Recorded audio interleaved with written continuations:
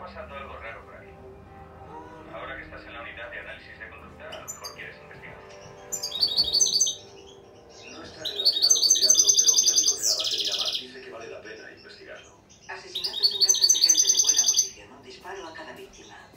La coordinación necesaria para esto apunta a una